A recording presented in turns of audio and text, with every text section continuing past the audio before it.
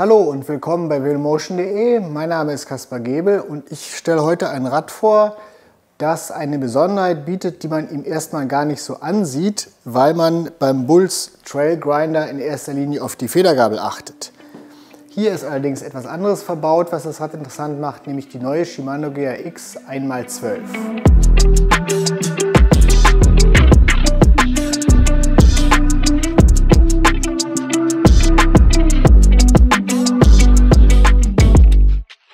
Was kann das Trail Grinder?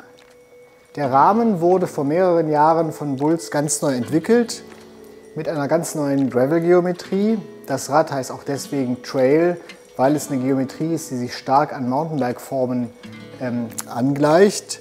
Typisch dafür ist ja bekanntlich ein langes Oberrohr kombiniert mit einem kurzen Vorbau und ein relativ flacher Steuerwinkel.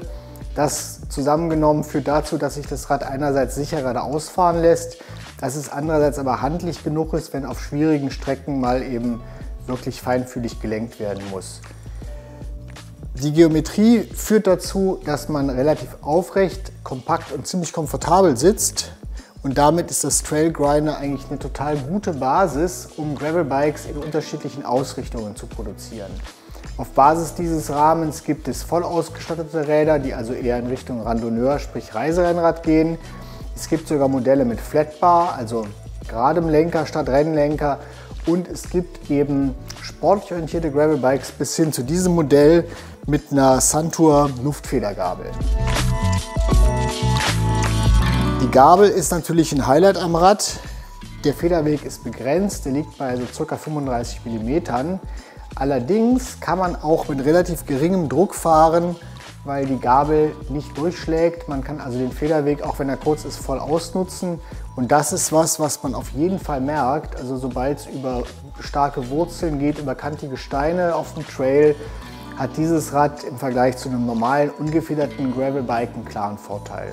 Die Gabel kommt natürlich gerade dann zum Tragen, wenn es mit dem ähm, Gravelbike über verblockte Trails geht, über Wurzeln, über Steine wo man mit einem normalen Gravelbike vorsichtig drumherum zirkeln muss oder sehr aktiv fahren muss, kann man hier einfach drüber rollen.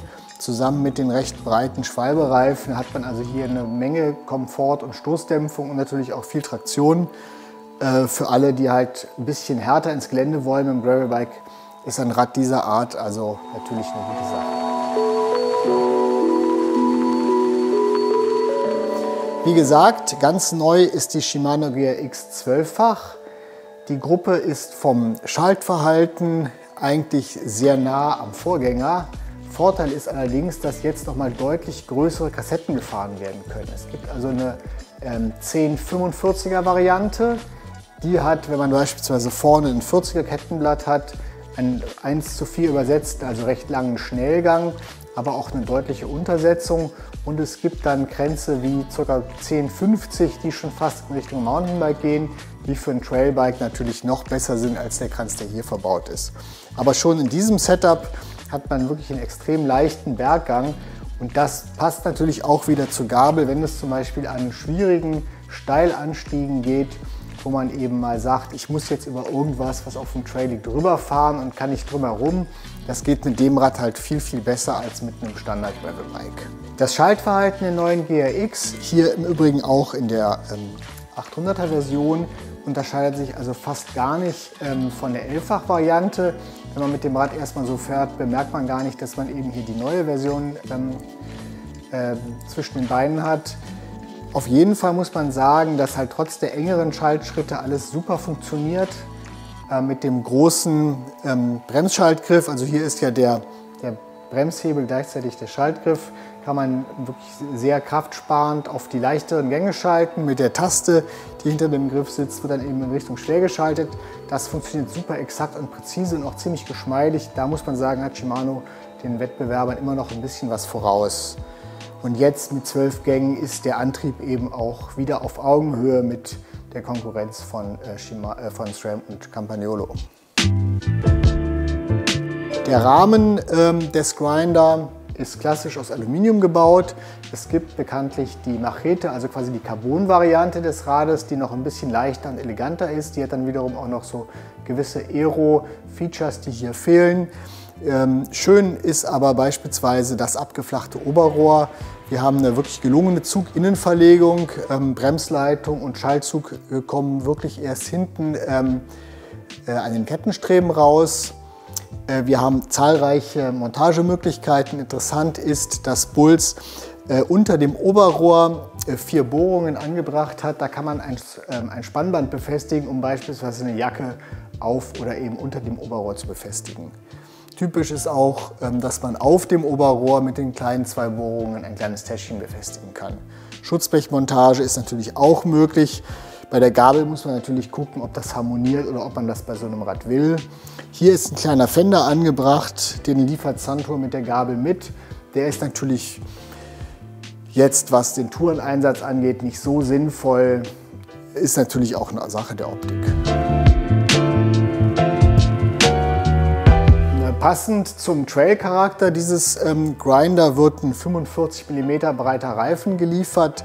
Das ist der Schwalbe G1 Byte, der vom Profil her eigentlich einer der meiner Meinung nach am besten funktionierenden Gravel-Reifen ist. Der hat nämlich auf der Lauffläche diese kleinen runden Noppen, die nicht allzu tief sind. Damit rollt er relativ schnell. Der hatte also auch im Velomotion ähm, Labortest sehr gute Noten beim Rollwiderstand. Er hat aber auch relativ griffige Seitenstollen, das heißt ähm, in Schräglage oder auf rutschigen Böden oder dort, wo sich der Reifen halt ein bisschen eingräbt, hat der wirklich viel Grip und Traktion. Hübsch ist natürlich hier auch die braune Farbe. Das ist wie üblich ein ähm, Tubeless-Reifen, der auf diesem Radsatz auch tubeless montiert werden kann. Dann kann man natürlich nochmal mit dem Luftdruck runtergehen und hat eben in Sachen Komfort und ähm, Traktion und auch Pannenfestigkeit nochmal leichte Vorteile. Typisch Puls an diesem Rad sind Anbauteile wie der magnetische Flaschenhalter von Fitlock. Ähm, auf dem Vorbaudeckel kann man ein Handy oder ähnliches montieren und hinten an der Sattelklemme ist eine ähm, Befestigungsoption vorgesehen für ein Monkey Link Rücklicht. Vorne ähm, unterm Vorbau ist ebenfalls Platz, also ein Steckplatz für einen Monkey Link ähm, Scheinwerfer. Anders als bei den Bulls E-Bikes muss man hier allerdings zur der Monkey Link ähm, Variante mit Akku greifen, weil es natürlich keinen zentralen Antriebsakku gibt, der äh, Scheinwerfer und Rücklicht mit Strom versorgen könnte.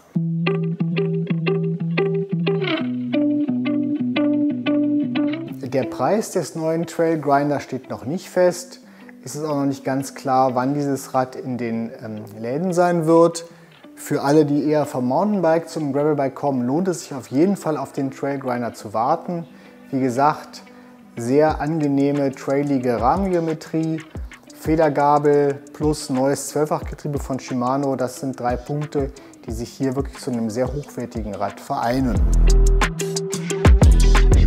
So, das war's wieder von meiner Seite. Danke fürs Zuschauen. Anregungen, Kommentare und Kritik sehr gerne unten in die Kommentarspalte reinschreiben.